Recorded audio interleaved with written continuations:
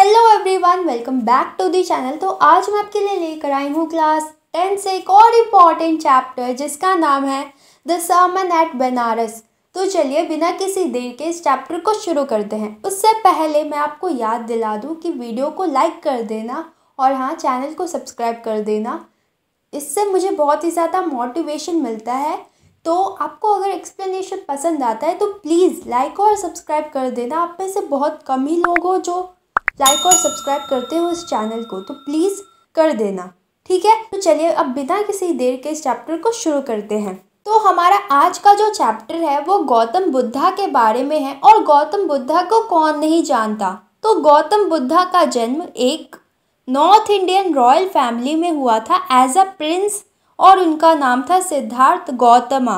तो जब वो बारह साल के थे तो उन्हें घर से बाहर दूर भेज दिया गया था हिंदू स्क्रिप्चर्स पढ़ने के लिए और जब वो चार साल बाद लौट कर आते हैं तो उनकी शादी एक प्रिंसेस से हो जाती है। और जल्द ही उन दोनों का एक बेटा हो जाता है और वो लोग दस सालों तक अपनी एक अच्छी खासी रॉयल लाइफ जीते हैं। तो जब प्रिंस यानी कि Siddhartha Gautama twenty five years के थे, तब उनकी लाइफ बिल्कुल चेंज हो जाती है। यानी जब उनको वर्ल्ड के सफ़रिंग्स के बारे में पता चलता है तो इसकी वजह से उनकी लाइफ जो है वो पूरी चेंज हो जाती है। तो एक बार प्रिंस हंटिंग के लिए जा रहे थे कि तभी उनको रास्ते में एक सिख आदमी दिखाई देता है, यानी एक बीमार आदमी दिखाई देता है। फिर उनको एक एजेड आदमी दिखाई देता है, यानी एक बुढ़ा आदमी दिखाई देता है। और फिर उनको एक फ्यूनरल प्रोसेशन दिखाई देते हैं, यानी कि जब लोग मर जाते हैं तो उनका जो क्रियाकर्म होता है, जो फ्यूनरल होता है, वो चीज़ उन्हें दिखाई देती है। एंड फाइनली उन्हें एक मॉन्क दिखाई देता है, भिक्षा मांगते हुए। तो ये सभी चीज़ों को देखकर वो अंदर से इतना हिल जाते हैं, इतना उनको धक्का लगता है कि वो वर्ल्ड में निकल पड़ते हैं, यानी अपना सब कुछ छोड़ छाड़ के वो दुनिया में निकल पड़ते हैं एनलाइटमेंट की खोज में। एनलाइटमेंट यानी कि स्पिरिचुअल नॉलेज की खोज में कि आखिर लोगों को सौरव क्यों होता है? आखिर लोगों को दुख क्यों होता है? तो वो सात सालों तक इधर उधर भटकते रहते हैं एंड फाइनली वो एक पीपल ट्री के नीचे आकर बैठ जाते हैं और वो वो करते हैं, यानी प्रतिज्ञा करते हैं कि वो तब तक उस पेड़ के नीचे से नहीं उठेंगे जब तक कि उन्हें एनलाइटमेंट के बारे में पता नहीं चल जाता। तो सात दिनों के बाद, यानी कि सेवन डेज़ के बाद, उन्हें एनलाइटमेंट के बारे में पता चल जाता है, यानी उन्हें स्पिरिचुअल नॉलेज आ जाता है एंड देन वो उस ट्री का नाम बोधि ट्री रखते हैं, यानी जिसका मतलब होता है ट्री ऑफ़ विजडम एंड उसके बाद से वो लोगों को टीच करने लगते हैं, उन्हें बताने लगते हैं अपने जानकारी के बारे में। एंड फिर उसके बाद वो अपनी जो नॉलेज है, वो लोगों में बांटना शुरू कर देते हैं। तो उस टाइम के बाद से उन्हें लोग बुद्धा कहकर बुलाने लगे, जिसका मतलब होता है द अवेकेंड या फिर द एनलाइटेंड तो गौतम बुद्धा ने अपना पहला सरमन सरमन का मतलब होता है रिलीजियस टॉक या फिर मोरल टॉक तो गौतम बुद्धा ने अपना पहला सरमन बनारस के सिटी में दिया था और बनारस को काफ़ी ही ज़्यादा हॉली यानी कि पवित्र माना जाता है क्योंकि ये रिवर गंगा के यहाँ सिचुएटेड है। ठीक है? तो ये जो सरमन है, इसे आज भी वहाँ पर प्रिजर्व करके रखा गया है और आज भी ये वहाँ बहुत ही ज़्यादा फ़ेमस है। और इस सरमन में लोगों के अनएंडिंग सफ़रिंग्स के बारे में बताया गया है। तो अब यहाँ से हमारी एक स्टोरी शुरू होती है जो कि किसा गौतमी के बारे में है। तो कहानी कुछ ऐसी है कि किसा गौतमी एक लेडी थी और उसका एक ही बेटा था जो कि मर गया था।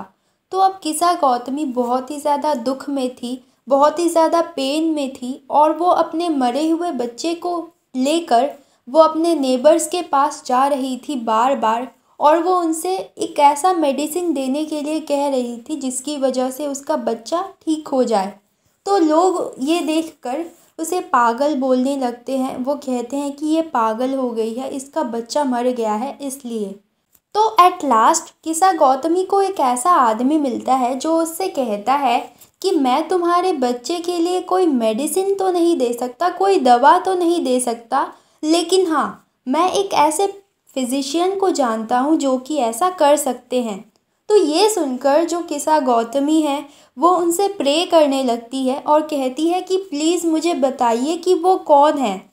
तो इस पर जो आदमी है, वो रिप्लाई करता है कि तुम सक्या मुनि बुद्धा के पास जाओ।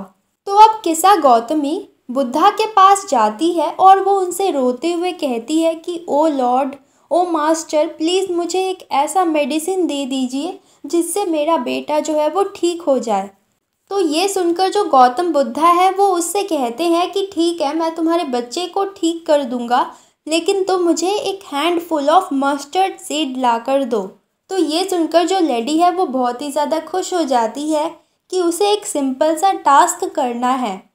तो फिर जो बुद्धा है, वो अपने बातों को कंटिन्यू करते हुए कहते हैं, लेकिन वो मस्टर्ड सीड तुम ऐसे घर से लाना जहाँ पर जिस घर में कोई भी बच्चा, कोई भी हस्बैंड कोई भी माता पिता या फिर कोई भी फ्रेंड ना मरा हो। यानी जिस घर ने अपने किसी भी रिलेटिव या किसी भी फैमिली मेंबर को खोया ना हो। तो अब किसा गौतमी घर घर जाकर लोगों से मस्टर्ड सीड मांगने लगी तो लोग उसे मस्टर्ड सीड लाकर देने भी लगे। लेकिन जब वो उनसे पूछती कि क्या आपके घर में कोई बेटा, बेटी, मदर, फादर, कोई भी फैमिली का मेंबर मरा है? तो ये सुनकर जो लोग हैं, वो उससे कहते कि ओ हमारे घर में तो रहने वाले यानी ज़िंदा लोग कम है और मरने वालों की संख्या ज़्यादा है। तुम हमें, हमारे उन दुख के दिनों को फिर से याद मत दिलाओ। एंड एट लास्ट किसा गौतमी को एक भी घर ऐसा नहीं मिलता जहाँ पर किसी ने अपनों को ना खोया हो। अब किसा गौतमी बहुत ही ज़्यादा परेशान और होपलेस हो जाती है और वो एक रोड के किनारे बैठ जाती है और सिटी के लाइट्स को देखने लगती है, जो कि फ्लिकर कर रहे थे, यानी बंद बुद्ध बंद बुद्ध कर रहे थे और फाइनली वो बुझ जाते हैं, यानी बंद हो जाते हैं और चारों तरफ़ एकदम डार्कनेस फैल जाता है, अंधेरा हो जाता है। एंड देन किसा गौतमी को रियलाइज़ होता है कि एक आदमी का लाइफ भी इन लाइट्स की तरह ही है, जो कि कुछ टाइम तक फ्लिकर अप होता है, यानी कुछ टाइम तक जलता है और उसके बाद बुझ जाता है एक्सटिंग्यूश हो जाता है। एंड फिर वो अपने आप में ही सोचती है कि मैं अपने दुख में कितना सेल्फिश हो गई थी, और वो सोचती है कि जो डेथ है, जो मृत्यु है, वो तो सबके लिए कॉमन है, और सबको एक न एक दिन मरना ही है। और इस सौरों से भरे दुनिया में एक रास्ता ऐसा भी है जो हमें इनमॉर्टैलिटी की तरफ़ लेकर जाता है। यानी जब हम लोग अपने सारे सेल्फिशनेस को त्याग देते हैं और हम दूसरों के बारे में सोचने लगते हैं, तब हम इमोर्टल हो जाते हैं। यानी हम मरकर भी अमर हो जाते हैं। तो अब जो गौतम बुद्धा है, वो कहते हैं कि इस मॉर्टल वाले दुनिया में, यानी एक ऐसे दुनिया में जहाँ पर सबको मरना ही है, और वो कहते हैं कि इस मॉर्टल वाले दुनिया में लोगों को ट्रबल्स फेस करना पड़ता है, उन्हें ग्रीफ फेस करना पड़ता है, उन्हें पेन होता है।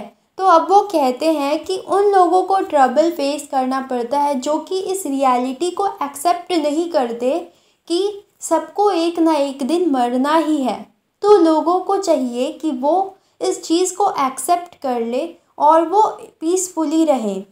फिर वो कहते हैं कि यहाँ पर जिसने भी जन्म लिया है, उसे एक ना एक दिन मरना ही है और कोई भी रास्ता नहीं है जिससे, जिसने जन्म लिया है, उसको बचाया जा सके। ओल्ड एज होने के बाद, यानी कि बुढ़ा होने के बाद मौत होना तो निश्चित है। और ये हमारे नेचर का एक पार्ट है। यानी हर एक लिविंग बिंग को एक न एक दिन मरना है। और ये नेचर का पार्ट है। फिर वो एग्ज़ाम्पल देते हुए कहते हैं कि जैसे एक पका हुआ फल होता है, यानी एक राइपन फ्रूट होता है, उसे गिरने का डर होता है, गिरने का खतरा होता है, ठीक वैसे ही इस मॉर्टल वर्ल्ड में जिसने भी जन्म लिया है, उसे मरने का तो है, यानी उसे मरने का डेंजर तो है, यानी उसे मरने का खतरा तो है। जैसे कि एक मिट्टी का वेसल जो होता है, एक मिट्टी का बर्तन जो होता है, जिसे एक पॉटर बनाता है, और उस मिट्टी के बर्तन के टूट जाने का खतरा होता है, ठीक वैसे ही हमारे लाइफ के साथ भी होता है, इस मॉर्टल वर्ल्ड में। चाहे हम यंग हो या एडल्ट हो, चाहे हम फूल हो या वाइस हो, हम सभी को एक ना एक दिन मरना ही है। सबको एक ना एक दिन मरना ही है। अब जो लोग मर जाते हैं, उन्हें ही अपने लाइफ से छुटकारा मिल जाता है, अपने जीवन से छुटकारा मिल जाता है। कोई भी किसी को भी मरने से नहीं बचा सकता। ना ही एक फादर अपने बेटे को मरने से बचा सकता है और ना ही कोई एक आदमी अपने किसी रिलेटिव को मरने से बचा सकता है। अब कोई आदमी किसी अपनों को मरते हुए देख सकता है, उसके मर जाने पर रो सकता है, लेकिन उसे मरने से बचा नहीं सकता। जैसे कि किसी ऑक्स को, किसी बैल को स्लाउटर हाउस में लेकर जाया जाता है, उसे मारने के लिए, ठीक वैसे ही जो डेथ है वो हमारे साथ करती है। यानी एक एक करके सभी लोगों को मरना ही है। यानी एक एक करके सभी लोगों को इस दुनिया से जाना ही है। एंड मरने के बाद हमारा सब कुछ ख़त्म हो जाता है। यानी हमारे सारे रिलेशंस सब कुछ ख़त्म हो जाता है।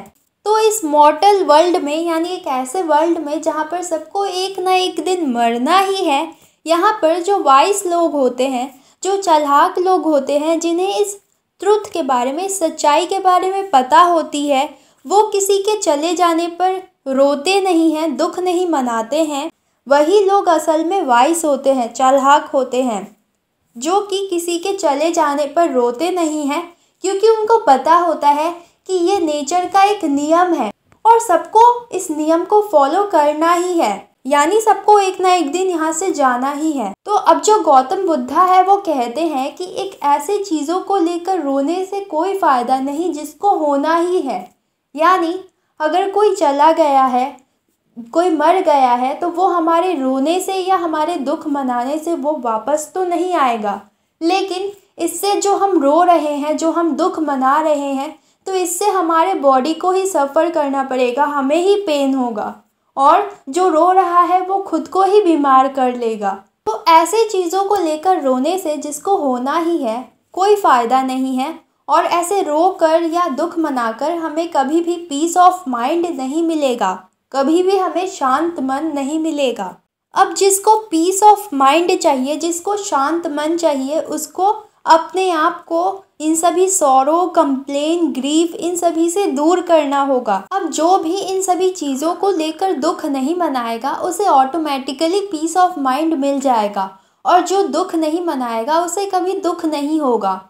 तो जो सभी लोग इन सभी चीज़ों से ऊपर उठ जाएँगे, यानी अपने आप को सौरों ग्रीफ और कंप्लेन इन सभी चीज़ों से दूर कर लेंगे, उन्हें पीस ऑफ़ माइंड मिल जाएगा एंड उन्हीं लोगों को ब्लेसिंग्स मिलेगी। सो दैट सेट ये था हमारा चैप्टर आई होप आप लोग को समझ में आ गया होगा। तो वीडियो को एक लाइक और चैनल को सब्सक्राइब करके ही जाना, क्योंकि आप में से बहुत कम ही लोग जो इस चैनल को सब्सक्राइब करते हो। तो प्लीज़ वीडियो को लाइक और चैनल को सब्सक्राइब करके बेल नोटिफिकेशन ऑन करना मत भूलना, क्योंकि ये तो आपके लिए फ्री है, लेकिन इससे मुझे बहुत ही ज़्यादा मोटिवेशन मिलता है आपके लिए और भी ज़्यादा वीडियोस बनाने के लिए।